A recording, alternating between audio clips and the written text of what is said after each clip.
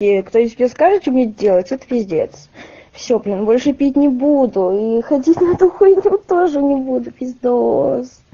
Мне кажется, никто не знает, что тут делать. Сделать можно с этим. Есть только страничку удалить. Походу в Инстаграме, потому что я забыла удалить. Я вообще уснула, проснулась, у меня плюс 500 подписчиков в Инстаграме, плюс 600 сообщений. Я, конечно, офигела немножко. Я уже удалила телефон, как я поняла, откуда они его взяли. Но только бесполезно, потому что этот телефон уже кто-то скопировал и вставляет в некоторые посты со мной. Короче, блин, мне не отвязаться от этого, надо покупать новую симку.